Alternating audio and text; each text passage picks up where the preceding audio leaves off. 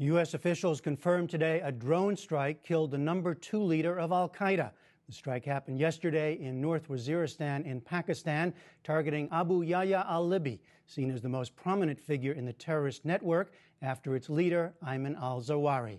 At the White House today, Press Secretary Jay Carney would not confirm how al Libi died, but said his death was a major blow to the terror group.